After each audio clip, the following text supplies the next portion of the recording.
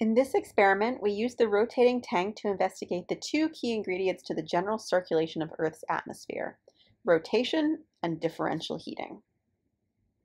We have our rotating tank set to a slow rotation rate of around one rotations per minute to represent the tropical atmosphere where rotation is weak.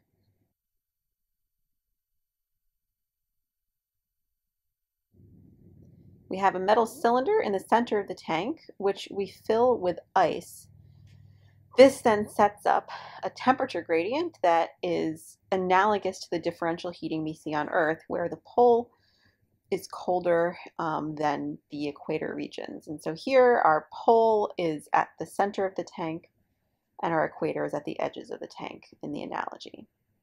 We add some water to our ice bucket to help it conduct and make sure that there's no air pockets between the ice cubes.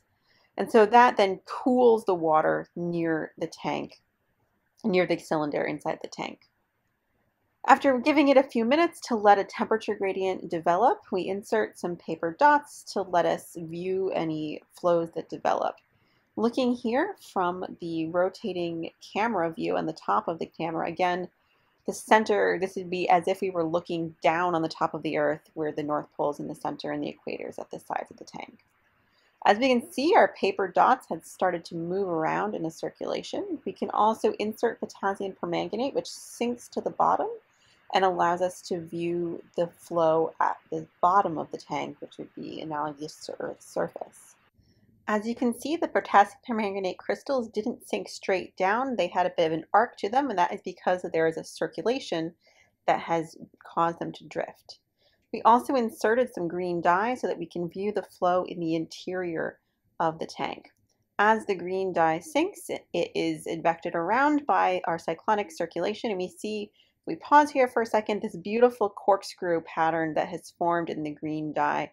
And this is reflecting the fact that the, that the flow is different speeds at different depths in the tank. We also on the inset here have our view from the top camera. We can see that our potassium permanganate crystal is starting to move outwards at the bottom.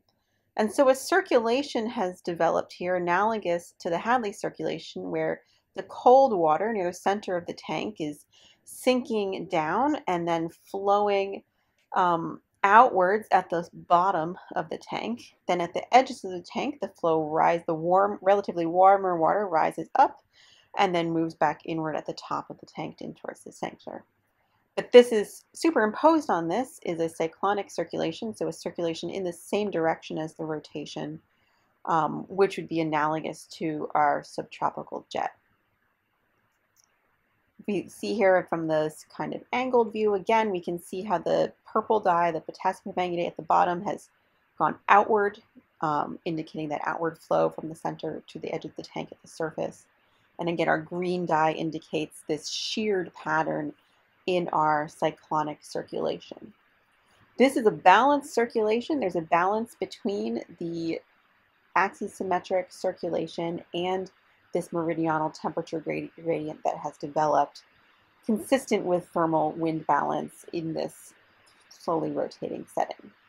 After giving it more time to set up, we really see how that purple dye at the bottom has really expanded outward from its original location, and we have this nice um, jet pattern indicated with the green dye, again with that nice corkscrew pattern as it sinks down to the surface. The colored dots we see moving around, again indicating that tropical jet. And so this is a really great analogy for this general circulation of the atmosphere in which we have this overturning thermally direct circulation and a zonal cyclonic circulation that is in thermal wind balance with the meridional temperature gradient. You can see now that the potassium permanganate is actually starting to rise upwards at the edges of the tank, reflecting that upward branch of our overturning circulation.